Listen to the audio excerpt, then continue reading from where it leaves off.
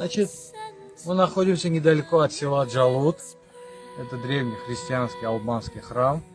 И чтобы убедиться в том, в каком он состоянии и как подвергся армянским фальсификациям значит, периода, по всей видимости, это же советский период, для этого не нужно очень долго искать что-то, достаточно посмотреть на внешний фасад.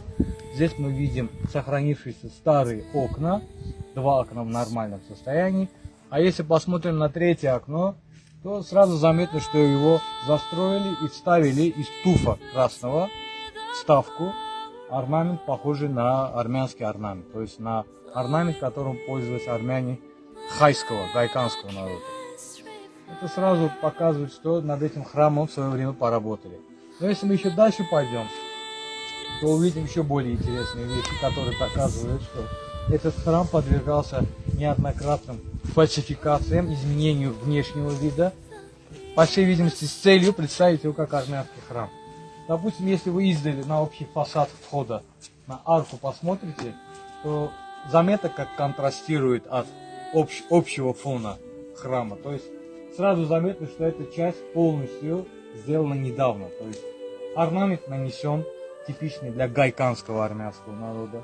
Опять-таки два окна заложены, и в них вставлены надписи на армянском и фрески, э, схожие с теми, которые можно видеть в Эчмиадзине и в других э, церквях армянских, гайканских, хайских. То же самое мы можем посмотреть, если увидеть над аркой на элементы символики и на кресты, тип креста, а также на те камни, сплошные современные камни, которые вставлены относительно недавно. При этом вокруг раскиданы остатки могил и могильных плит, которые относятся к более старому периоду. Но здесь есть также могильные плиты, которые остались еще с периода, когда армян переселили в этот регион, в это село.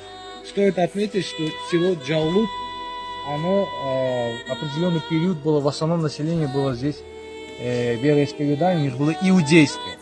Но потом уже с приходом царской России сюда были заселены армяне, и они частично изгнали, подвергли ассимиляции местное население.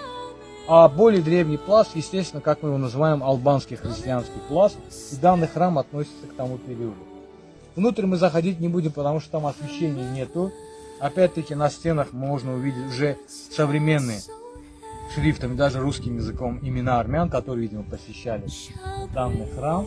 Но если обернуться с противоположной стороны, то же самое. Там на окнах, опять-таки, окна заложены современным камнем. Из них из туфа вставлены э, орнаменты и надписи на современном армянском языке. То есть в данном, недалеко от села Джалут, мы еще раз убедились в том, что каким образом, э, какая методология использовалась для фальсификации и приармянивания храмов. Нечто подобное мы видели, допустим, в Товузском районе, в селе Герзан на кладбище, о чем, естественно, отдельный цикл и фильм у нас был. И, по всей видимости, продолжение данной деятельности мы будем стараться держать в центре внимания вот подобные храмы, которые до сих пор, к сожалению, оказались вне внимания. И судьба этих храмов показывает, что шла планомерная фальсификация и приармянивание подобных заброшенных древних христианских албанских храмов.